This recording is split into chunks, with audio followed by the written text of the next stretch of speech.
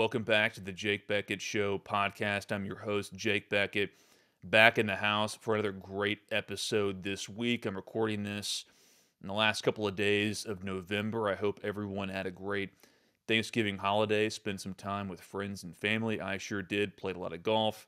The weather was nice. I was back home in central Arkansas. Um, and I wanted to take um, the time for this episode to do a bit of a recap on the Arkansas football season. Obviously, the big news.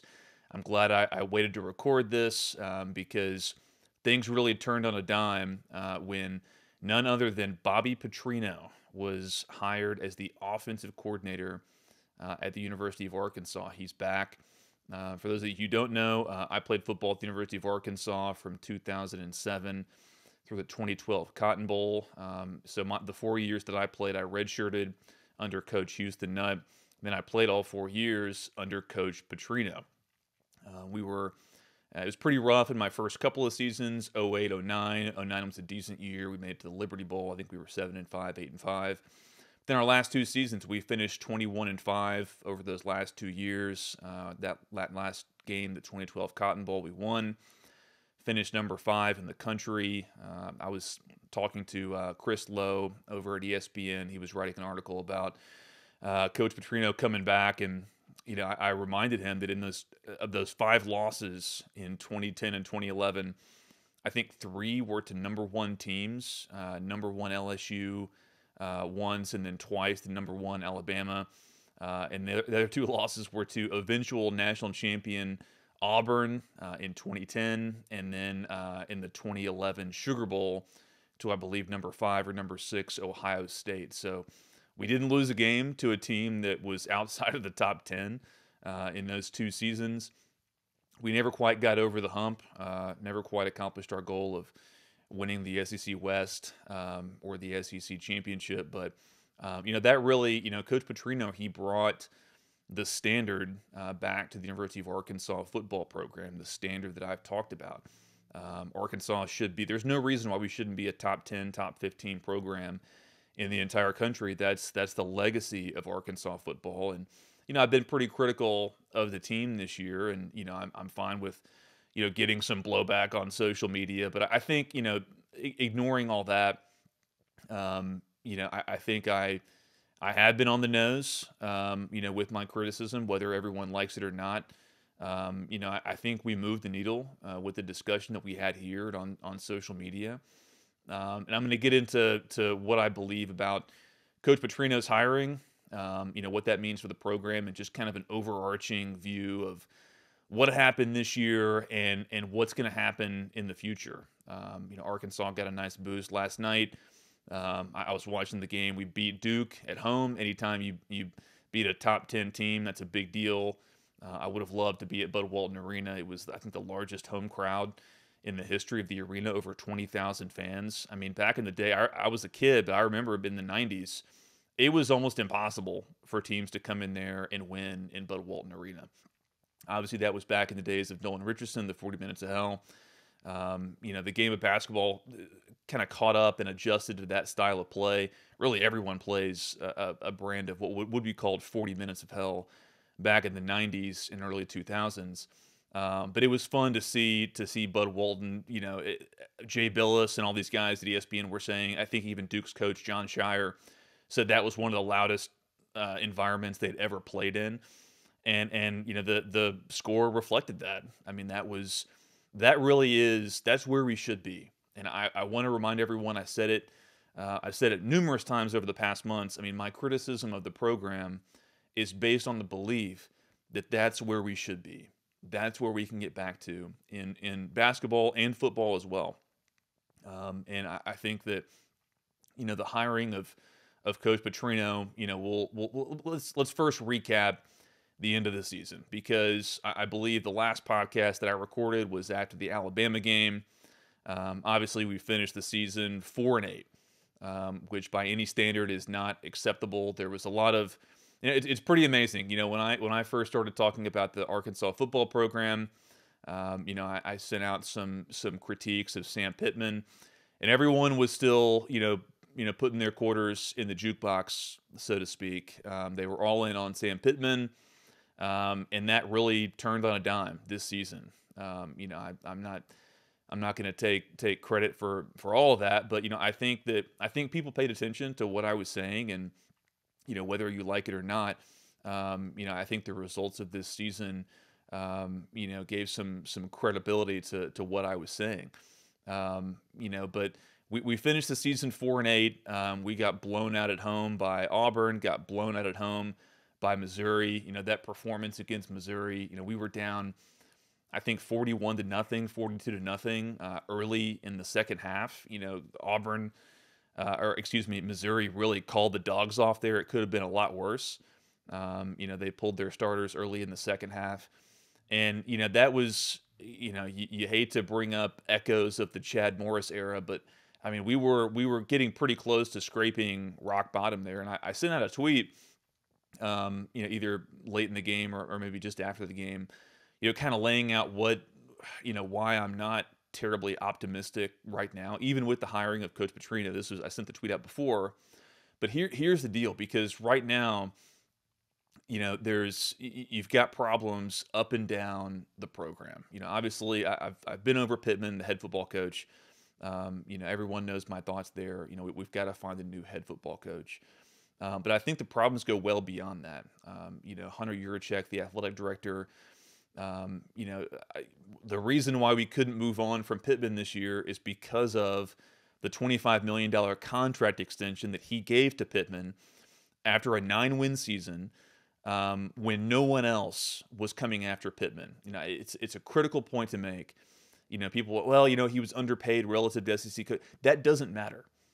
The entire thing that matters in terms of head football coaching contracts and contracts in general, it's all about leverage.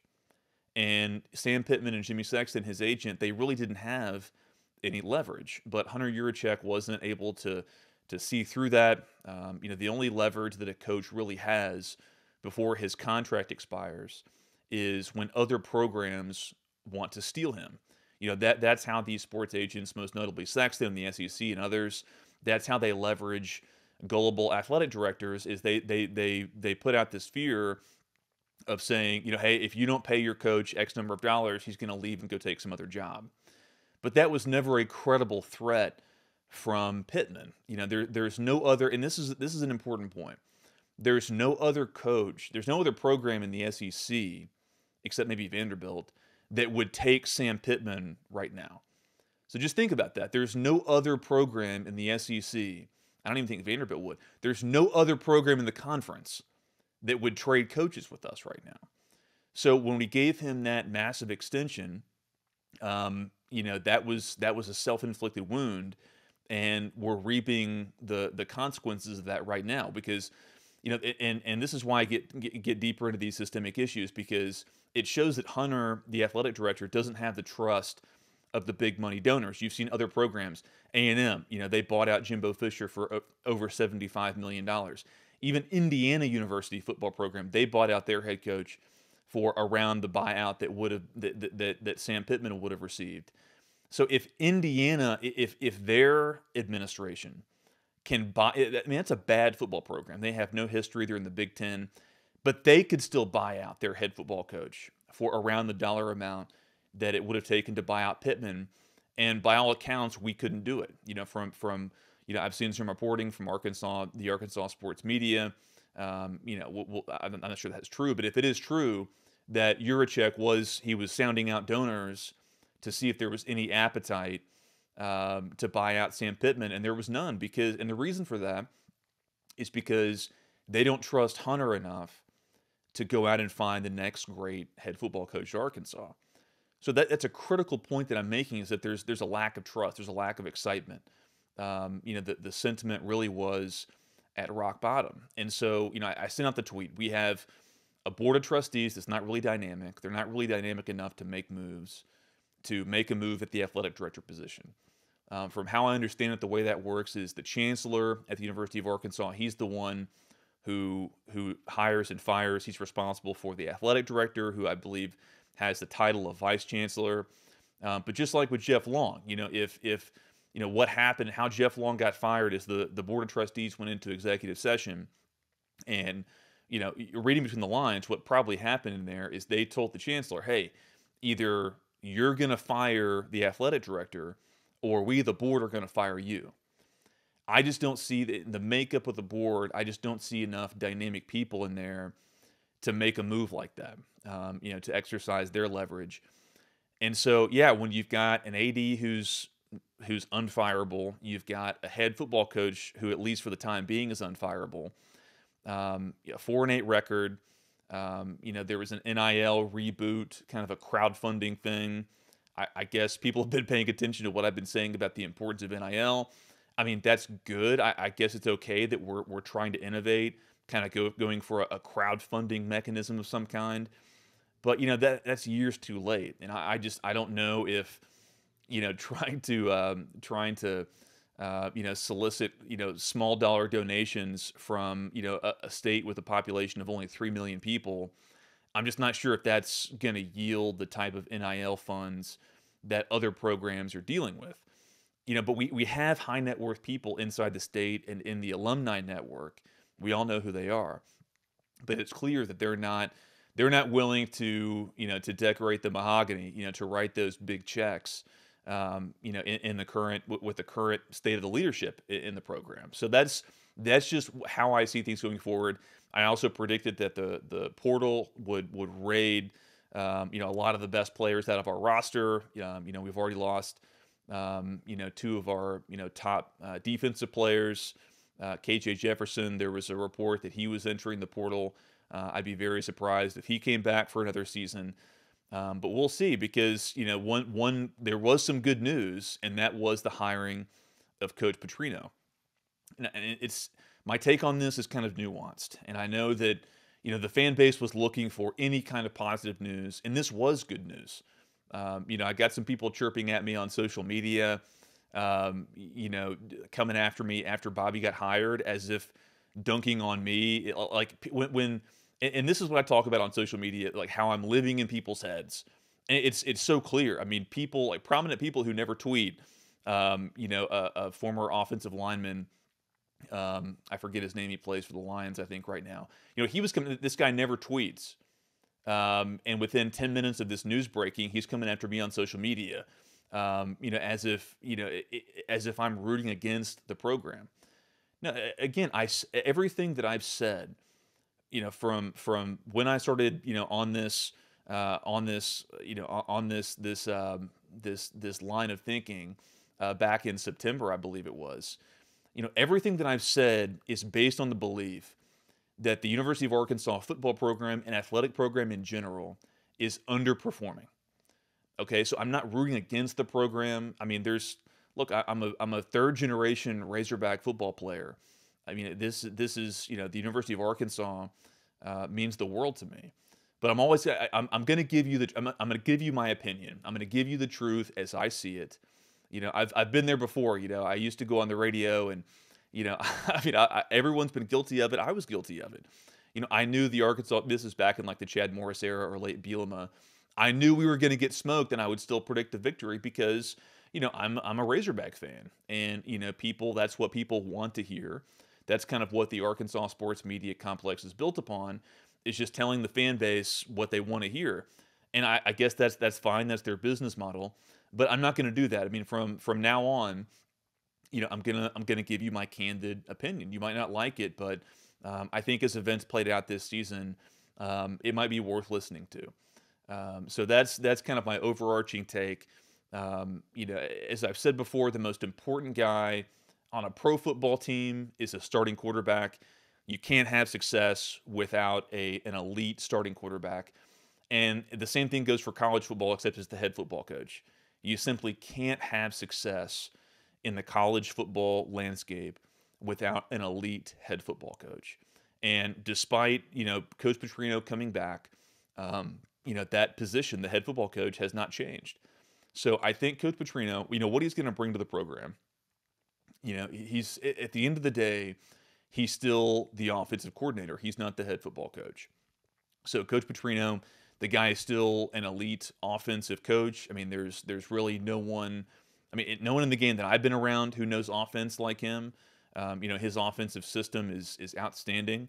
Um, you know, he knows how to leverage dual threat quarterbacks. He knows how to run the football. He's going to bring he's going to bring an element of toughness and innovation back into the offensive room. But at the end of the day, he's still the offensive coordinator. I think he he's going to bring an element of leadership, you know, back to the coaching staff, which I think, um, you know, Coach Barry Odom, who was the former head coach at Missouri, he was the D coordinator for the I think Pittman's first couple of years. You know, I, I think it's clear at you know obviously this season things kind of imploded without Odom there. You know, I think Odom really. Um, you know, really brought that sense of leadership behind the scenes. He was probably a sounding board for for Sam Pittman. I don't want to say he was the the shadow head coach, but maybe he was. And so I guess the optimistic take is that Coach Petrino will bring that. Um, you know, he will fill that void um, that was that was that was created uh, when Barry Odom took the head football coaching job, I believe, at UNLV. So that's the optimistic take that Coach Petrino will come in. Um, he'll get the offense going. The offense was was pretty disastrous this year. Um, you know, he'll he'll he'll revamp the offense. He'll he'll get the offense playing good football, and he'll provide that that leadership and that sounding board, and you know maybe be the shadow head coach behind the scenes. But you know, you, you got to hear what I'm saying. At the end of the day, he's still only the offensive coordinator. The offensive coordinator doesn't win and lose games. You know, it all starts with the head football coach. So we'll see what this does for recruiting in the immediate term. Um, we'll see what this does uh, to stem the tide of players leaving in the portal. But, you know, at the end of the day, we're still, you know, we're a four and eight football team. We couldn't buy out a $20 million contract. Um, you know, the, the board of trustees, it doesn't look like they have the makeup to, you know, make a change at the athletic director position. And the athletic director obviously couldn't make a change at the head football coach position. So you know this this this team, this program has a lot to prove to me going forward. Um, you know, it's it's you know, but but you know that's I, just to to set all that aside. It is objectively good news. It is, I, and I put that out on social media. It is genuinely good news. Um, this was going to be a long off season, uh, you know, with not a lot of optimism. But in terms of the fan base, you know, people were desperate for good news, and this was good news. And you know, now the narrative is going to flip. You know, it, it, already has. I mean, people are, you know, the glory days are back with Coach Petrino. Whether that's true or not, you know, it's a shot in the arm of adrenaline uh, into the fan base that was a little bit beaten down. And you know, you've you've got to you've got to look at that objectively and say, you know, I, I guess that's a good thing.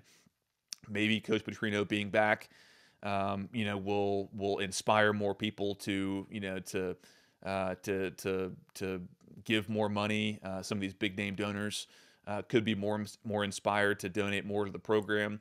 But we'll see. I mean, we we have a we have a we have a money problem, but really we have a leadership problem.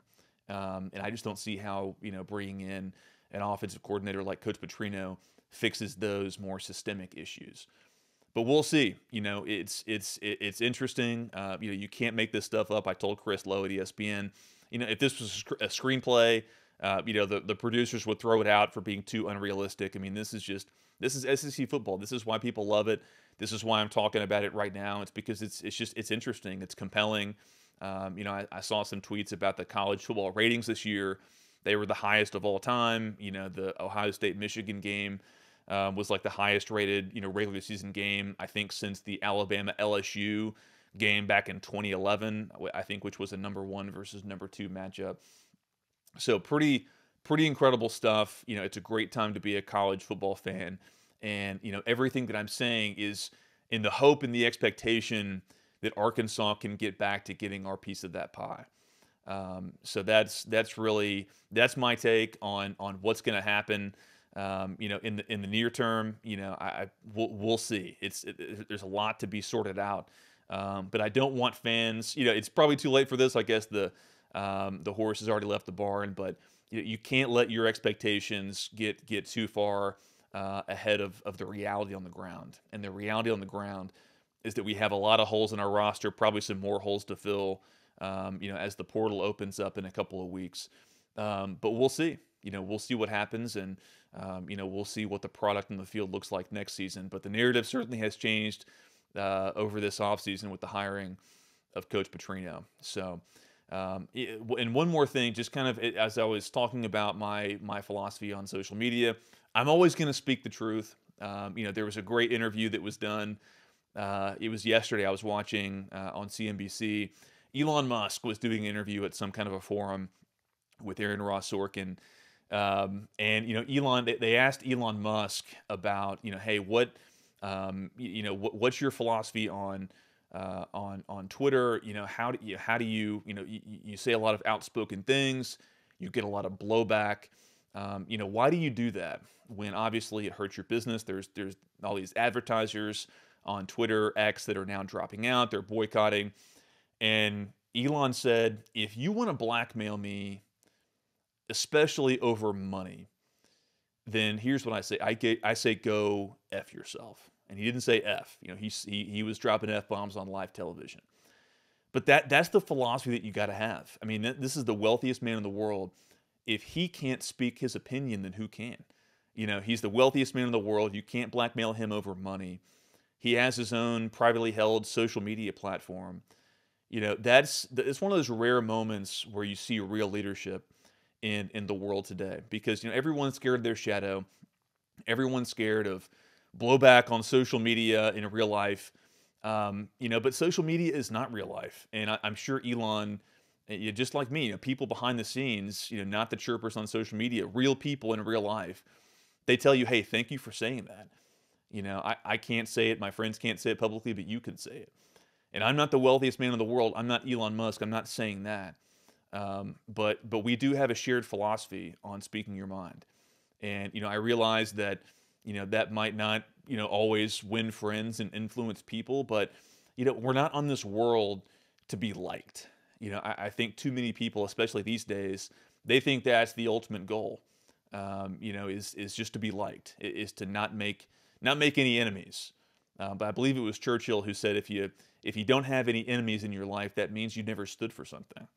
Um, so that's kind of my overarching philosophy. You know, I've I've taken the road less traveled in, in certain areas of my life, and you know, certainly on on on this subject on Arkansas football, um, you know, it, it's certainly within that same mentality. You know, I, I think I have a little bit of experience, uh, a little bit of expertise in what you know what it takes to to create a winning football program at the college and pro level. You know, it, I wasn't doing it personally, but I was a part of it. I was there. I saw it. I know what I know what right looks like, and I know what wrong looks like. Um, and you know, until until these until I start seeing you know right things happening inside the athletic department at the University of Arkansas, then my opinion is not going to change. So you know, I'll I'll leave it with that. Um, you know, that's that's kind of my that that's my view of the way things stand. You know, at the end of the 2023 football season for the University of Arkansas. You know, it's great to see Coach Petrino back uh, back at the University of Arkansas. Um, again, you, you couldn't make this stuff up, but that's why we love SEC football. Um, and, and, just to, to, to to leave things on an optimistic note, I mean that's you know that's what we saw last night at the Arkansas Duke basketball game. I mean, you saw an, an incredibly passionate fan base that is desperate to get behind a winner. I mean, when when things are going good at Arkansas, there's no better place to be than in Fayetteville. I mean, there's no there's no better place to be in the country, in my opinion, than in Fayetteville on a on a Razorback game day, football or basketball, when there's a winning team, when there's an elite product on the field. Because there's nothing. I mean, like we, this is our this is our team in the state of Arkansas. The University of Arkansas is our flagship university. The entire state's morale kind of swings with the uh, you know with the success or failure uh, of the football program and to a lesser extent the basketball program. Um, so when things are going good, uh, there's no better place to be, and that's why I want things to be good. But to get there, uh, you know, wishing for it, just being optimistic, um, you know, that's that's that's not going to get you there. What's going to get you there is real leadership. It's taking a candid appraisal of the situation. Uh, it's seeing things and making hard decisions that other people can't see, decisions that other people can't make. Um, so I'm going to keep I'm going to keep sounding off, and I'm going to keep giving my candid view because you know I you know I don't want to dislocate my shoulder, patting myself on the back. But if you've been watching this space, if you've been watching what I've been putting out on social media, it has moved the needle. You know, it, it has shaken things up. It has stirred the pot, and I think that's ultimately good. Uh, and you've seen it with you know hiring Coach Petrino was probably the best offensive coordinator hire we could have possibly gotten. Um, you know, we're rethinking our NIL situation.